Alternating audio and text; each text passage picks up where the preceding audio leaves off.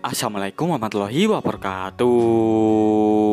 Halo semuanya, selamat datang di channel Alfarimek Oke nih teman-teman, dari kesempatan kali ini saya ingin tunjukin tutorial bagaimana cara untuk login atau masuk ke akun X profil teman-teman ya.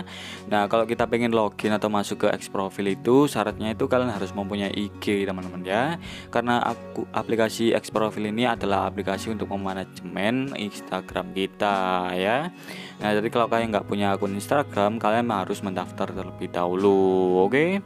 Nah di sini kalau kalian yang sudah mempunyai akun Instagram, tinggal kalian buka aja dulu aplikasi X profilnya di sini. Nah, the X profile. Nah, who is looking at your profile? Nah, tinggal kalian masuk aja ke Instagram di sini.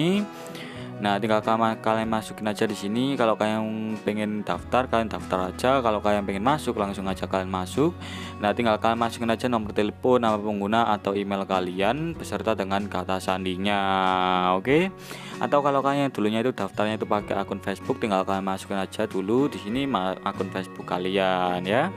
Nah, di sini saya dulu daftarnya manual, jadi di sini saya mau masukin dulu nama pengguna saya.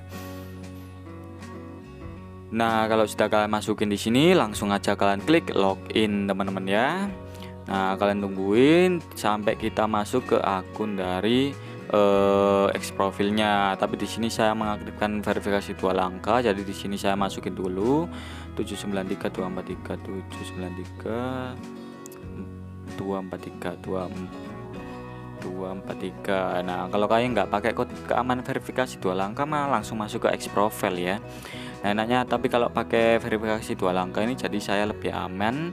Kalau aplikasi ini tuh terpercaya soalnya kan e, kalau pakai ini kan harus connect langsung kan ke Instagram kan biar dikirimkan kode verifikasinya ya. Nah kalau sudah tinggal kalian klik aja konfirmasi di sini Nah, kalian tungguin sampai kita masuk ke tampilan dari X profile.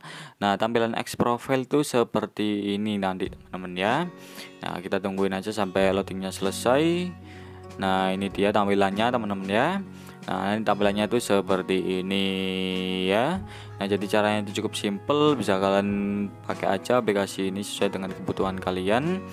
Nah, ya, jadi caranya itu cukup simple ya, teman-teman ya.